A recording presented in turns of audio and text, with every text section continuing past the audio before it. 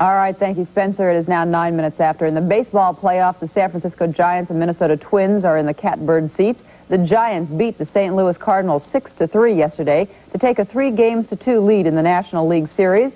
And the Twins beat the Detroit Tigers 5 to 3 last night to move ahead three games to one in the American League Series. Our playoff correspondent Willie Stargell was on hand for that game. He joins us this morning from WXYZ TV in Detroit. Good morning, Willie. Good morning, Joan. I don't imagine there's a whole lot of joy there in Motown today. Well, uh, there wasn't much joy going on in Detroit, but there was certainly an awful lot of joy going on in the Minnesota clubhouse. And I guess for one reason, uh, if, if nothing else, for a lot of these young players, this is the first time for them in the playoffs. And last night, I had a chance to talk with Greg Gagne, and I wanted to know what was going through his mind during these pressure games. The thoughts that go through your mind out here, uh, you know, you have to have confidence out here to play. You have to believe in yourself. Um, sometimes there's doubts, and uh, you get down and discouraged sometimes, and you have to uh, forget about them. You have to believe, you know, keep believing, keep believing, and and and just go out there and do it. Two very big hits tonight. Uh, could have been three. Your contributions. Give us a little talk about that. Well, I'm just I'm just happy, real happy right now. Uh, that first of all, that we won the game. You know, um, it's a battle out there. Uh, a lot of things go through your mind and everything. Um, I'm just happy that I could contribute to to a winning cause tonight.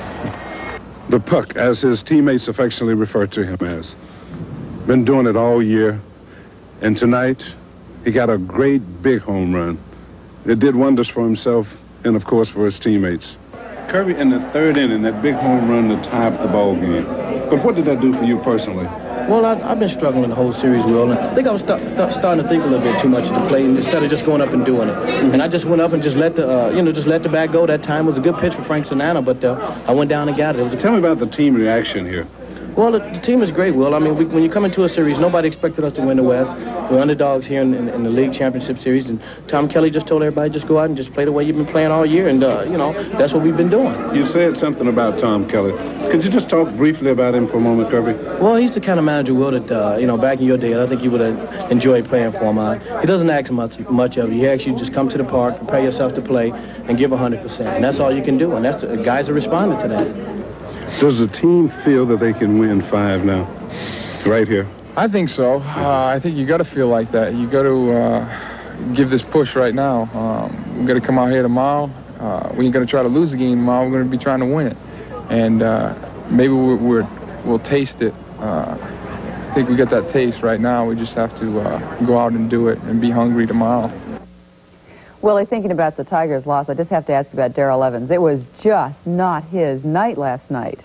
What happened? Well, well, Darrell Evans did have a tough night last night. You know, getting picked off in the sixth inning was a huge mistake. That it came back to haunt the Tigers. And right after that, Sparky moved him from first to third, where he played as awkward as he, uh, as he could. And we all have these kind of days that Darrell had last night. And as a player, you just don't want to have it in a game like this it's just too important for the Tigers. But Dale has been through this before, and, uh, you know, he's a professional. Quietly, he's their team leader, and this is the team that has the best record in baseball. So there's a lot of professionals. They're looking forward to going out there today and, and doing the things they've been doing all year. All right, Willie, thanks so much for joining us this morning. Of course, the National League will be back in St. Louis tomorrow night for Game 6 also. Uh, coming up right now uh, on 13 after the hour, yesterday's game march on Washington right after this.